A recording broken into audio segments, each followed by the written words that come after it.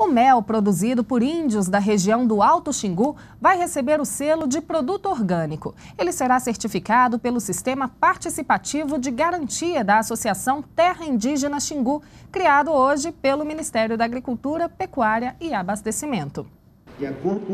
Os sistemas participativos de garantia têm a tarefa de inspecionar a produção orgânica no Brasil. Eles também são responsáveis pelo controle da qualidade. Agora, o mel produzido pelos índios do Alto Xingu vai passar por essa inspeção para ser reconhecido como produto orgânico. É um produto que tem um valor agregado interessante, é muito saudável, muito procurado. Então a gente vê nesse, nesse trabalho com o mel também uma forma deles entenderem o processo coletivo, porque ninguém vai vender o mel sozinho.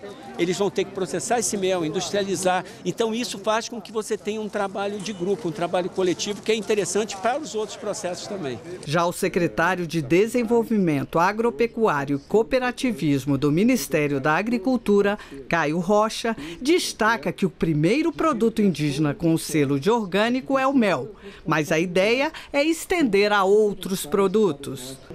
Nós temos também a questão da certificação, iniciando pela questão da apicultura, mas estão preparados, têm a metodologia para trabalhar é, e outros produtos. Para os indígenas, a certificação, além de agregar valor ao mel, garantirá renda e levará alimento com qualidade para a mesa da população, como explica o presidente da Associação Terra Indígena Xingu, Iacari Cuyucuro. Esse mel do Xingu não tem veneno, né?